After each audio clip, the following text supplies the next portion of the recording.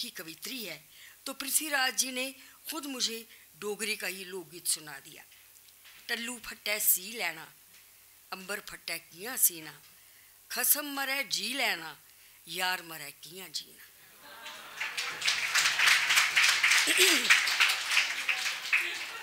कपड़ा फटे कपड़ा फटे तो सी लूँ, आसमान फटे तो कैसे सीऊं, खसम मरे तो किसी तरह जी लूँगी। पर यार मरे तो कैसे जी?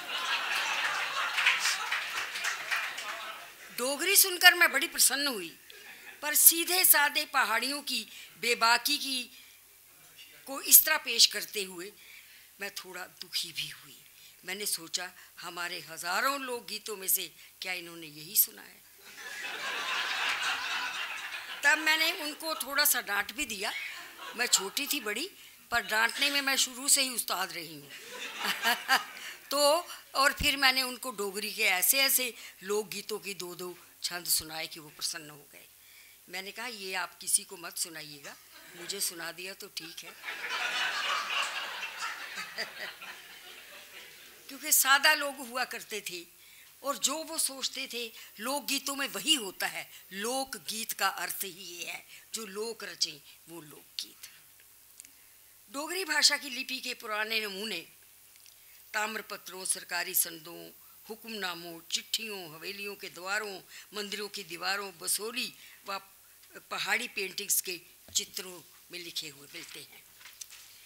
तकरीबन 1930 तक मातृभाषा डोगरी की मौलिक साहित्य को, मातृभाषा डोगरी को मौलिक साहित्य के योग नहीं समझा गया।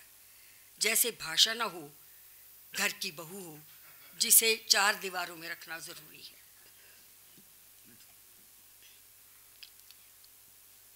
डोगरी का वो पहला कवि, जिसकी रचना हमें उनके नाम से मिलती है, वो है देवी दत्त, जिन्हें प्यार से हम कवि दत्तू के नाम से जानते हैं।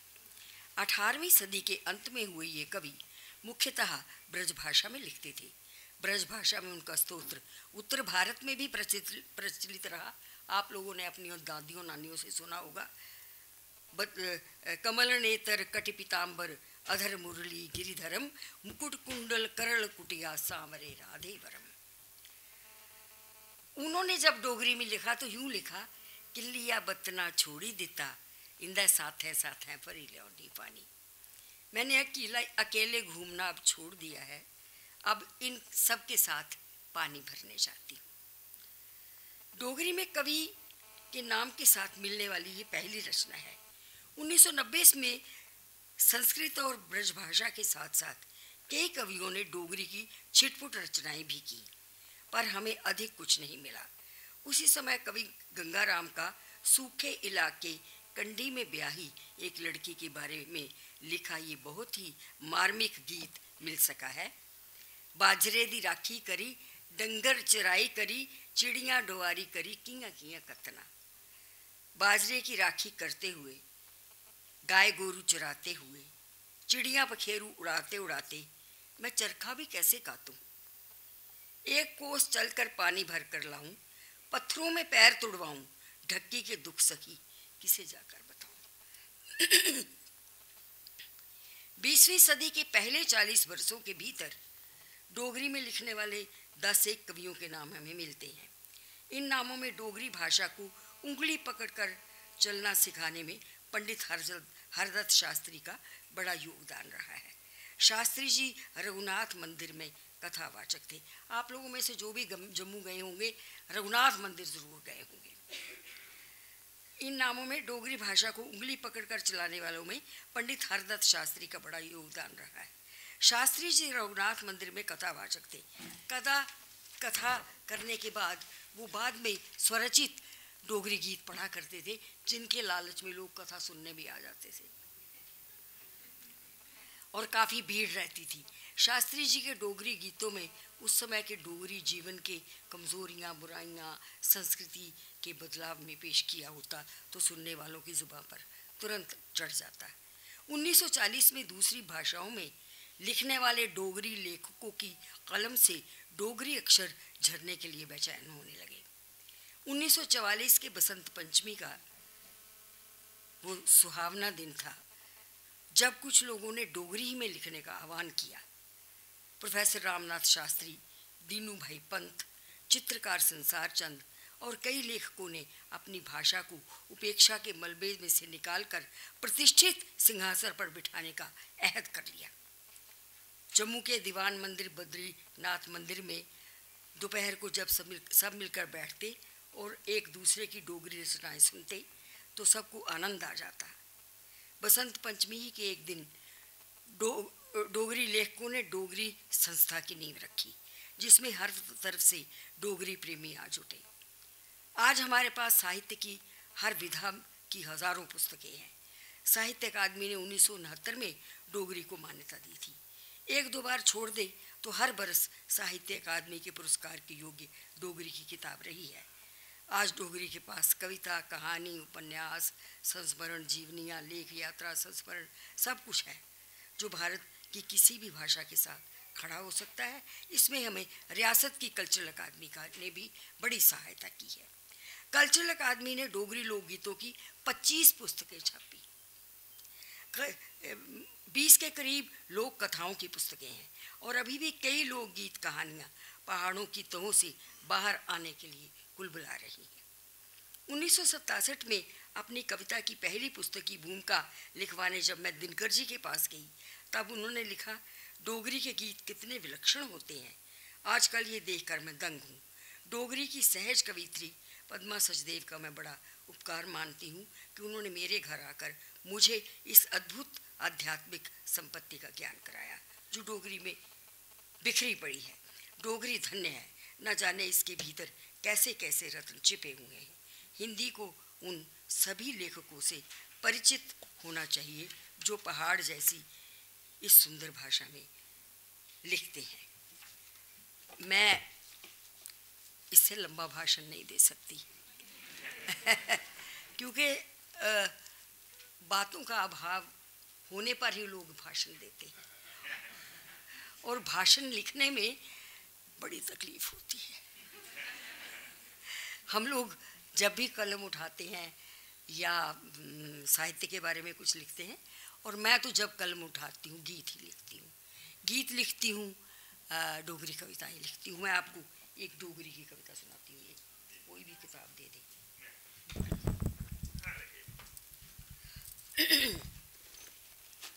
लोकगीत विलक्षण होते हैं, ये दिनकर जी ने लिखा। मैं कोशिश करती हूँ, एक दो लाइन आपको सुनाऊं। ये लोकगीत है। योगी, मेरे घर आओ। मैं तुम्हें आसन दूँगी। तुम बैठो और मुझे मेरे मैके की बात सुनाओ। बिना ले जोगिया भेड़या जोगिया बिना ले जोगिया, बेड़या जोगिया, मेरे प्यो के दी गल सुना। जोगिया बिना ले, बेड़या बिना ले। जोगी जाई बैठा, दूर आनी है हो जोगी जाई बैठा, दूर आनी है हो मेरा मन नहीं लगदा पानी है। ओ मेरा कड़ा, डुबी डुबी जा जोगिया। हथ रस्सी, खुबी खुबी जा जोगिया। बिना ले जोगिया, बेड़या जोगिया। मेरे प्यो के दी गल सुना जोगिया बिना ले गीत खत्म हो गया है।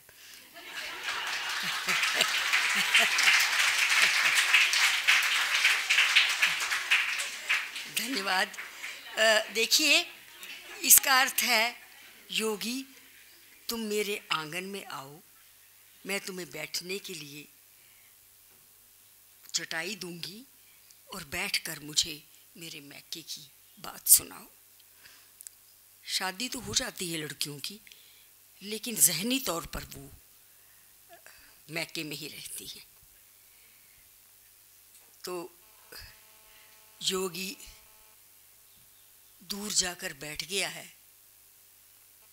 वो कहती है, मेरा पानी भरने में मन नहीं लगता, मेरा घड़ा डूब डूब जाता है। मेरी रस्सी हाथों में खूब खूब जाती है। योगी, तू आ, मुझे मेरे बैके की बात सुना। इतने लोग गीत हैं हमारे पास और इतने सुंदर हैं, और मैं कभी गाती भी बहुत अच्छा थी। अब मतलब है, ये वक्त मेरा सोने का है, जबकि मैं जाग कर आप लोगों को भाषण दे रही हूँ।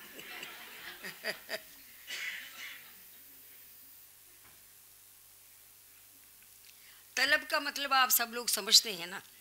पगार नहीं।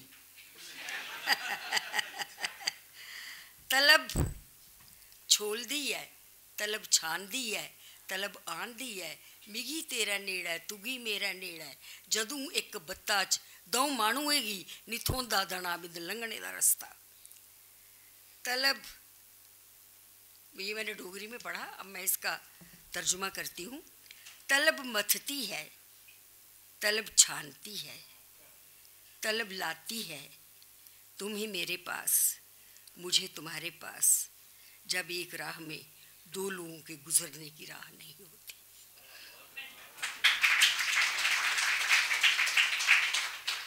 शाम घिरने से हर रोज जरा सा पहले मेरी ड्योढ़ी की दहलीज पर जब रोशनी होती है, ढलते दिन की रश्मियाँ रह रह कर मेरे कदमों के पास आकर सुस्ताती हैं, तब मुझे यूँ लगता है जैसे सब जगह आग लग गई हो। यही रोशनी है जो रोज आती है, मेरे पाँव छूती है, मुझे पूछ पूछ रहती है, तुम क्यों खड़ी हो? किसके लिए खड़ी हो? कोई आया है क्या? तेरे पास क्या है? मेरे पास क्या है? लिखा हुआ वर्क, रंगा हुआ वर्क, मिटा हुआ वर्क, तेरे लहू के साथ, मेरे लहू के साथ। खत्म हो गई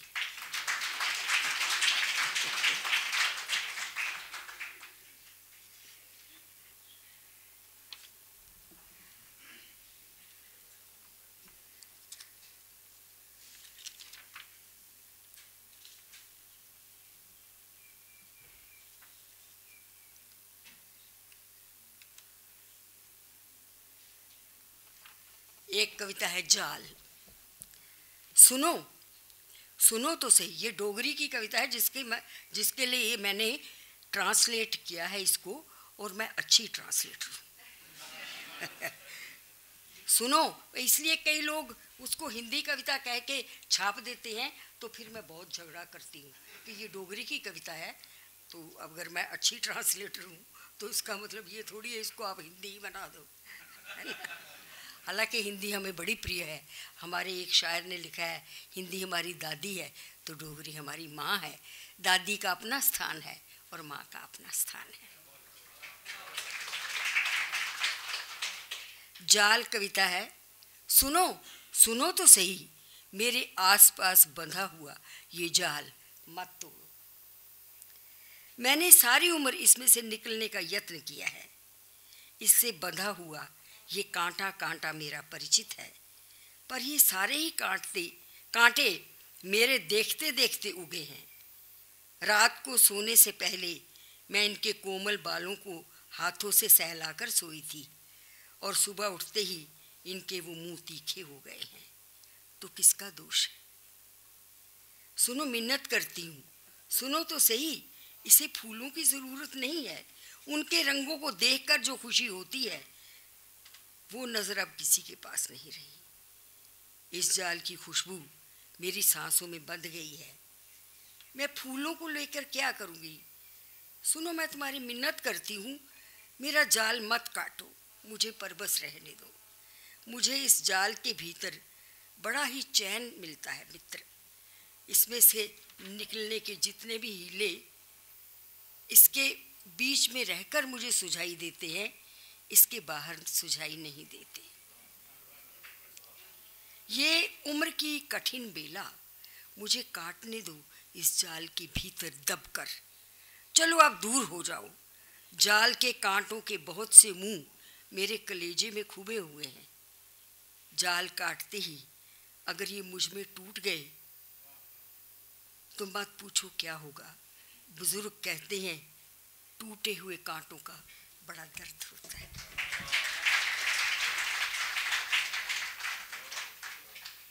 ये एक नज्म है तीसरा मोर्चा लड़कियों के लिए खास तौर से।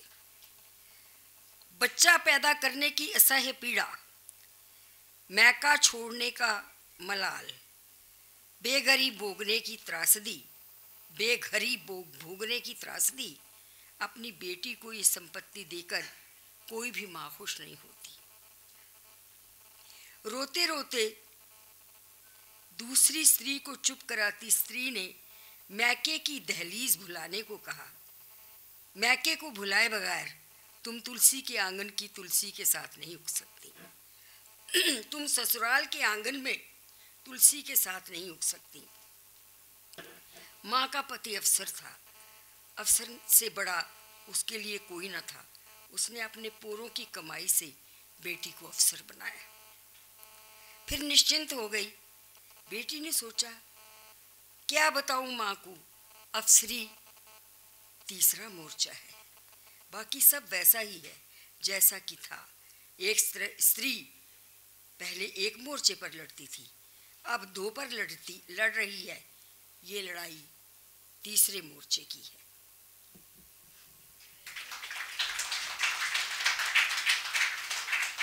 जो भी जहाँ जहाँ से भी आया हो अपना गाँव उसे बहुत याद आता है। मतलब है, मैं तो जहनी तौर पर अपने गाँव में ही रहती हूँ। और जब भी नज़म कहनी होती है, हम लोग वहाँ के पंडित हैं। पहाड़ एक दिया था हमें राजाओं ने घर बनाने के लिए।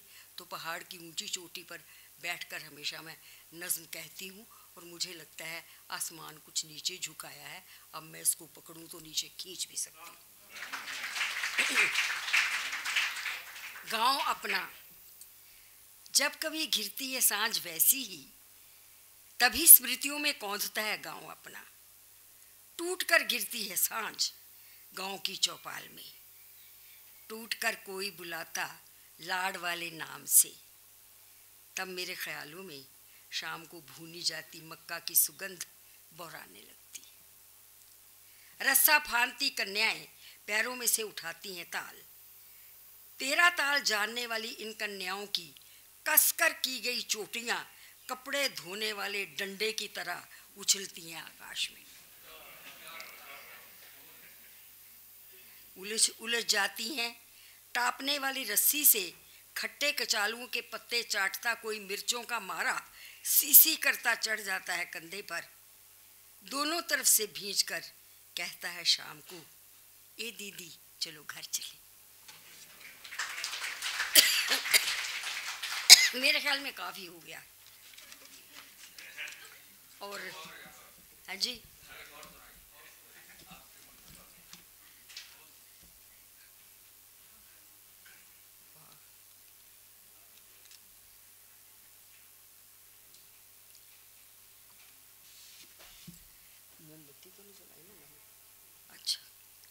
एक मेरी नज़र है मोमबत्ती। मोमबत्ती जल रही है। मोमबत्ती घुल रही है, मोमबत्ती सहेज रही है, रोम रोम देह का। मोमबत्ती बन गई है एक कटोरी, मन के आँगन में पिघलती एक गोरी। पिघली हुई देह को संभाल कर रखती है ये, अपना अपना ही गला हुआ मांस जू चखती है ये। ज्योति डगमगाई है पर बुझी नहीं, उड़ रहे हैं बाल इसके अंग अंग घायल इसके बह रही मोमी ये धारा रखी थी सहेज कर। ढेर लगा मांस का कदमों में इसके तो भी देती रोशनी। अपने ही मुर्दे पर नाचती है ये, देह अपनी ही जलाकर जीती है ये। मोमबत्ती एक स्त्री का रूप है। मोमबत्ती एक स्त्री का रूप है, कई करोड़ों मंदिरों में जल रही ये धूप।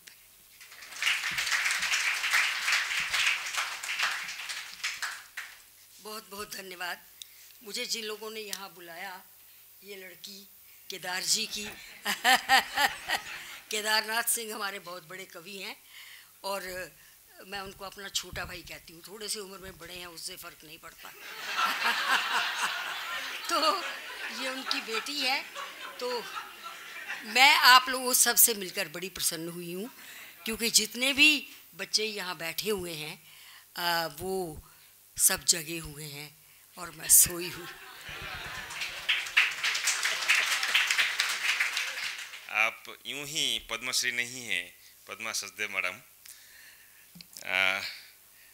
आपके बाद हम आमंत्रित करते हैं मैडम डॉक्टर अनामिका जी को। आप भी हमें कुछ अपने कविताओं से आनंदित करें। विद्वानों को दोस्तों को गुरुजनों को आदाब और नमस्कार करती हुई मैं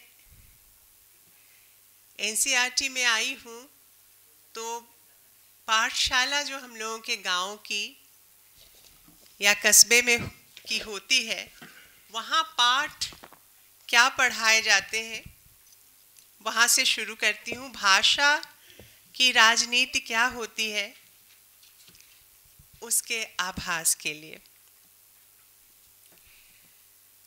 इसका शीर्षक है बेजगह। अपनी जगह से गिरकर कहीं के नहीं रहते, केश औरतें और नाखून। अन्वय करते थे किसी श्लोक का ऐसे, हमारे संस्कृत टीचर और मारे डर के जम जाती थीं हम लड़कियाँ अपनी जगह पर। जगह जगह क्या होती है? यह वैसे जान लिया था हमने अपनी पहली कक्षा में ही। याद था हमें एक एक अक्षर आरंभिक पाठों का। राम, पाठशाला जा। राधा, खाना पका। राम आ बताशा खा राधा झाड़ू लगा। भैया अब सोएगा। जाकर बिस्तर बिछा। आहा, नया घर है। राम, देख, यह तेरा कमरा है। और मेरा? ओ पगली, लड़कियाँ हवा धूप, मिट्टी होती हैं। इनका कोई घर नहीं होता। जिनका कोई घर नहीं होता, उनकी होती है भला कौन सी जगह? कौन सी जगह होती है ऐसी जो छूट जाने पर औरत हो जाती है, कटे हुए नाखूनों, कंघी में फंसकर बाहर आए केशों सी, एकदम से बुहार दी जाने वाली? घर छूटे, दर छूटे, छूट गए, लोग बाग कुछ प्रश्न पीछे पड़े थे, वे भी छूटे। छूटती गई जगहें, परंपरा से छूटकर अब यह लगता है, किसी बड़े क्लासिक से पास कोर्स बीए के प्रश्न पत्र पर छिटकी, छोटी सी पंक्ति हूँ। चाहती नहीं लेकिन कोई करने बैठे, मेरी व्याख्या सप्रसंग। सारे संदर्भों से, सारे संदर्भों से उड़कर, सारे संदर्भों के पार मुश्किल से उड़कर मैं पहुँची हूँ। ऐसे ही समझी पढ़ी जाऊँ, जैसे तुकाराम का कोई अधूरा अभंग। दूसरी कविता का शीर्षक है नमक। नमक दुख है और धरती का और उसका स्वाद भी। धरती का तीन भाग नमकीन पानी है और आदमी का दिल नमक का पहाड़। कमज़ोर है दिल नमक का, कितनी जल्दी पसीज जाता है। गड़ जाता है शर्म से, जब फेंकी जाती हैं थालियाँ दाल में नमक ज़रा, नमक ना दाल में नमक ज़रा नहीं ऐसा, मैं पढ़ देती हूँ। जब फेंकी जाती हैं थालियाँ, दाल में नमक कम या जरा तेज होने पर, वो जो खड़े हैं ना, सरकारी दफ्तर, शाही नमकदान है। बड़ी नफासत से छिड़क देते हैं हरदम। हमारे जले पर नमक। जिनके चेहरे पर नमक है, पूछिए उन औरतों से, कितना भारी पड़ता है उनको, उनके चेहरे का नमक। जिन्हें नमक की कीमत करनी होती है अदा, उन नमक हलालों से रंज रहता है महासागर। दुनिया में होने न दी उन्होंने क्रांतियाँ, रहम खा गए दुश्मनों पर। गांधी जी जानते थे नमक की कीमत, और अमरूदों वाली मुनिया भी। दुनिया में कुछ और रहे न रहे, रहेगा नमक।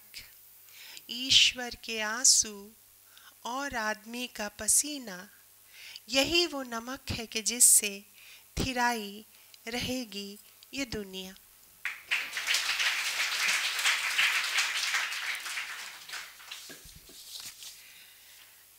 पद्मा जी ने जोगियों की बात कही तो मैं सोच रही थी कि भारत में अलग अलग हिस्सों में जोगी अलग अलग बाने में, बानों में गए। पंजाब में गए तो सूफी संतों की बाली बोलते हुए गए ये जोगी और फ़कीर। इनके यहाँ गए तो अलग तरह से बोले, और हमारे यहाँ जब गए पूरब में तो उस संदर्भ में मैंने एक कविता निकाली, इनकी सुन के निकाली। आपने भर्तृहरि की कहानी सुनी होगी ना? कुछ कुछ लोगों ने सुनी होगी ना अमर फल की कहानी?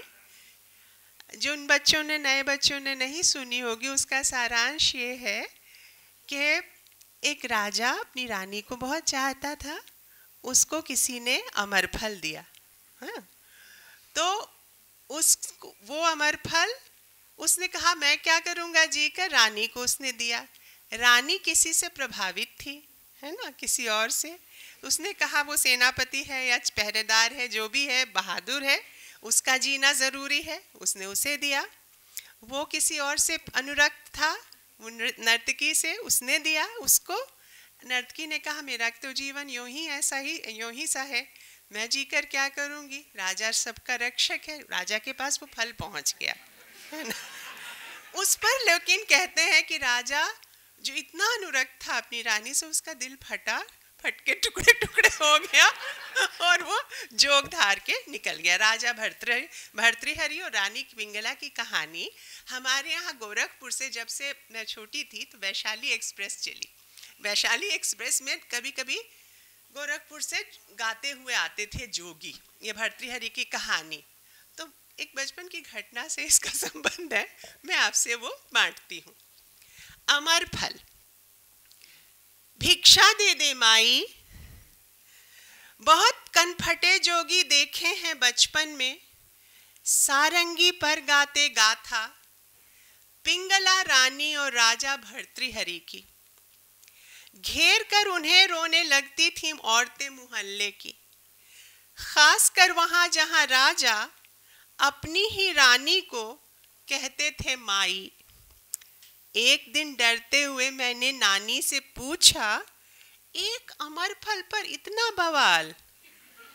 क्या कोई अपने सखा को अपने हिस्से का कुछ अच्छा सा दे भी नहीं सकता? नानी ने घबरा कर मेरे मुँह में अपना आंचल ही ठूस दिया। बहुत बोलती है ये लड़की। तुझे पद्मिनी नायिका होना है कि रणचंडी?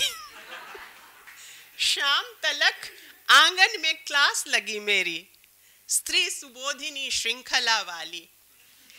मैंने कहा, मुझको कोई नहीं होना। मैं कोई नहीं ही भली। मगर कहे देती हूँ नन्ना, अगर मुझे अमर फल मिला तो मैं उसे तुम्हारे इसी हंसिए से आठ फांक काटूँगी। बांटूँगी एक एक फांक, जहाँ जहाँ दिल चाहे। क्या करूँगी अकेली ही अमर होकर? मुझको कौआना नहीं है। बेकार ही साथियों से बिछड़कर कौआना मतलब कौए की तरह अकेले और सुनो, ए नन्ना, एक फाक तुमको भी दे दूँगी, अपने अमर फल से। के वो भी दिन देखने को तुम ज़िंदा रहो? जबकि रानी पिंगलाए ही जोग धार लेंगी। चल देंगे छोड़ छाड़ कर ऐसे घनचक्कर राजाओं को, जो जरा सी बात पर हो जाते हो जामे के बाहर।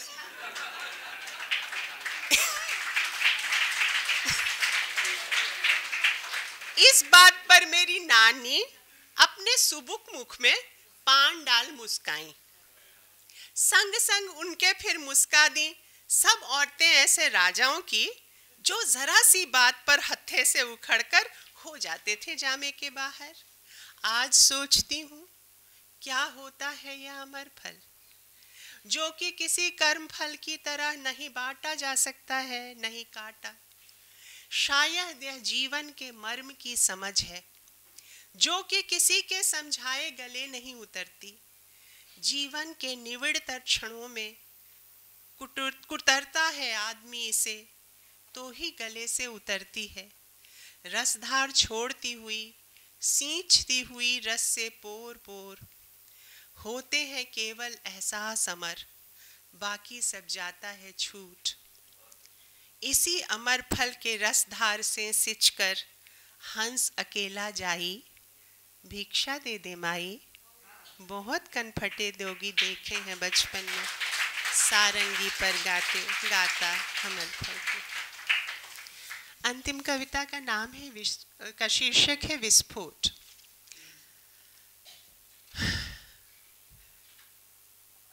पहला बम फोड़ती है, जब भी हम अलगाव की भाषा बोलते हैं, उस भाषा के बारे में ऐसी जो भाषा का काम तो जोड़ना है, लेकिन जब अलगाव की भाषा बोली जाती है, तब की बात। पहला बम फोड़ती है, हरदम भाषा ही उंगली उठाकर। उंगली जो एक साम, एक सामने वाले पर उठती है तो चार अपनी तरफ़। नेस्त नाबूद, तहस नहस, ध्वस्त प्राण नील बटा सन्नाटा, प्रलय लीन। भाषा की अलग अलग जेबों में अलग अलग पॉकेट बन। विस्फोट अर्थों, अनर्थों का टुकुर टुकुर देख रहे हैं शब्द सारे। सब कुछ है धुआँ धुआँ। ज़िंदगी फिर पढ़ रही है ककहरा। याद आ रहे हैं आइंस्टीन, तीसरा युद्ध जो हुआ तो चौथा पाषाण युग के हथियारों से ही लड़ा जाएगा। भीम बैठका की पहाड़ियाँ टुकुर टुकुर देखती रहेंगी कि कैसे। विस्फोट के एन एक मिनट पहले किसी ने वादा किया था, ज़िंदगी का पहला वादा। घास की सादगी और हृदय की पूरी सच्चाई से खाई थी साथ साथ जीने और मरने की कसमें विस्फोट के एन एक मिनट पहले किसी ने चूमा था, नवजात का माथा विस्फोट के एन एक मिनट पहले कोई सत्य काम, जीता था सर्वोच्च न्यायालय से लोक हित का कोई मुकदमा। तीस बरस के अनुपम धीरज के बाद पहला ही नंबर घुमाया था विस्फोट के एन एक मिनट पहले। विस्फोट के एन एक मिनट पहले नालंदा पुस्तकालय की जली हुई चौखट पर बुद्ध मिले थे अनामिका नाम की पगली पगली औरत को। नालंदा की वे किताबें बुद्ध को घेरे खड़ी थीं। बुद्ध को घेरे खड़े थे, दंगों में जिबा हुए मासूम बच्चे। ईदगाह वाला हामिद भी था। दादी के लिए जो लिए जा रहा था, ईदी के पैसे बचा के वही चिमटा जो उसके खिच्चे गले में घुसेड़ा गया। चतुरंगिनी सेना में जैसे हाथी बढ़ा करता था। बौछार तीरों की हर तरफ़ से झेलता, प्रश्नों से घिरे हुए बुद्ध चल रहे थे। उस पागल औरत ने भी प्रश्न दागा, हे भंते, नहीं जानती मेरे जीवन का हासिल क्या? जीने की तैयारी में सारी ज़िंदगी गई, मेरे सगे थे वही, जिनकी मैं सगी न हुई। मेरे वे सारे संबंध जो बन ही नहीं पाए, वे मुलाकातें जो हुई ही नहीं, वे रास्ते जो मुझसे छूट गए या मैंने छोड़ दिए उड़ के दरवाजे जो खोले नहीं मैंने, शब्द जो उचारे नहीं और प्रस्ताव जो विचारे नहीं, मेरे सगे थे वही जिनकी मैं सगी न हुई। रोज आधी रात को फूलती है जब कुमुदनी, मेरी हताहत शिराओं में तो टूट जाती है नींद। एक पक्षी चीखता है कहीं विरदग्ध आसमान भी किसी आहत जटायु सा बस गिरा ही चाहता है मेरे कंधों पर। और हृदय में उमड़ता है सन्नाटा प्रलय मेघ सा। कब तक चलेगा भला ऐसा? क्या है उपाय शांति का? बाहर या भीतर हृदय के हृदय में कैसे सधे मैत्री? मदिर मौन से शब्द की श्याम विवर वाले स्तंभन से मीरा की महाप्राण यतिगति की, प्रकृति से विकृति की, आकाश से धरती की मैत्री, दुख के दारुण दावानल से स्व सुख स्वप्न की झीसियों की, आग से पानी की कैसे सधे मैत्री? जो इतने दिन नहीं सधी, कैसे माने की सधेगी ही? कुछ कहा था बुद्ध ने फिर से कानों के कान में कहीं विस्फोट के एन एक मिनट पहले।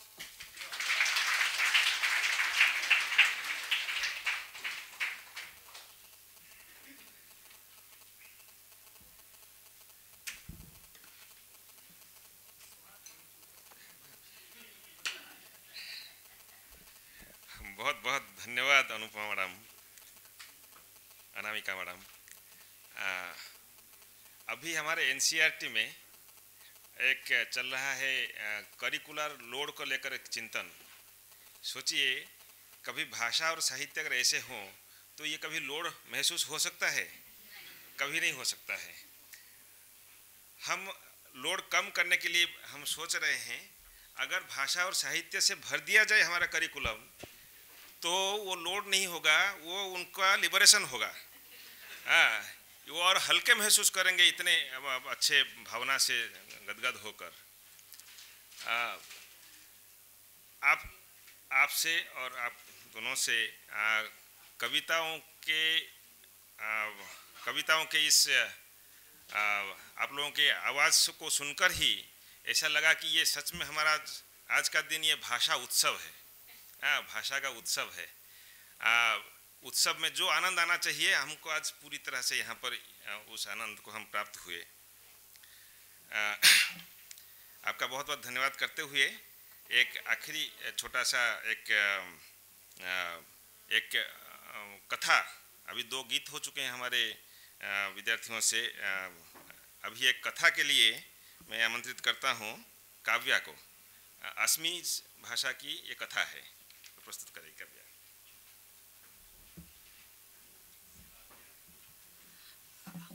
Good afternoon, everyone. I would like to greet you in Assamese. আজি অন্তৰাষ্ট্ৰীয় মাতৃভাষা দিৱসত মই সকলোলৈ শুভেচ্ছা জ্ঞাপন কৰিছোঁ I greet you, my heartfelt uh, wishes to everyone on this International Mother Language Day. Uh, this is a folk tale which is collected and published by Lakshminath Bajporua and uh, it is a very 20-line uh, short story. I would uh, narrate it in Assamese and then a brief summary in English.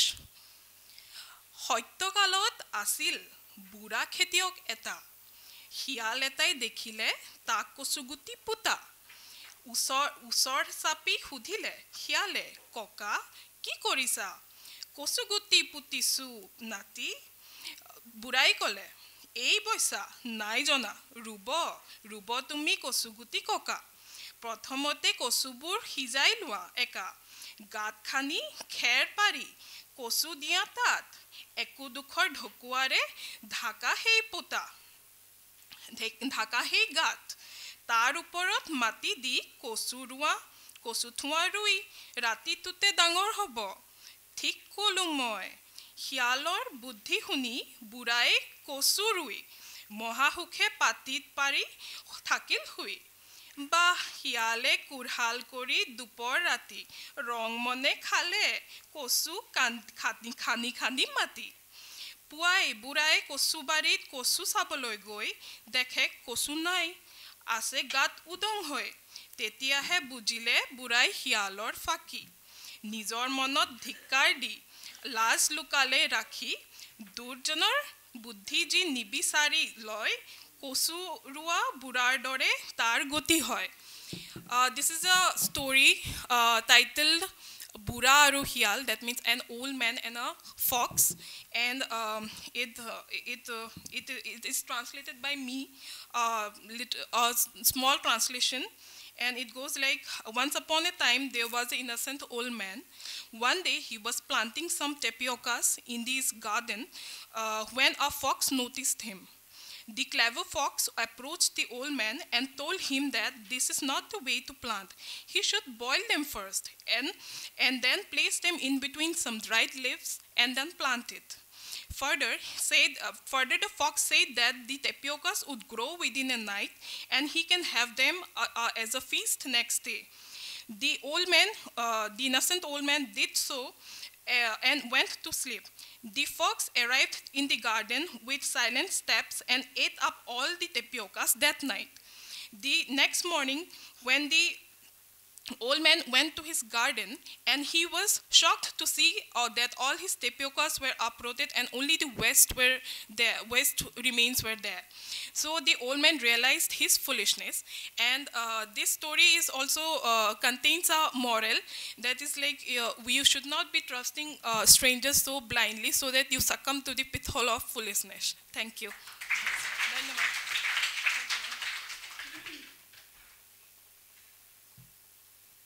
बहुत बहुत धन्यवाद Kavya Assamese भाषा में सबको एक सुनाया। काफ़ी कुछ समझ में आ रहा था, क्योंकि हमारी भाषाएँ एक दूसरे से सब जुड़ी हुई भाषाएँ हैं एक दूसरे बहुत अलग नहीं है। थोड़ा सा ध्यान दे के सुनेंगे तो बिल्कुल समझ में आता है।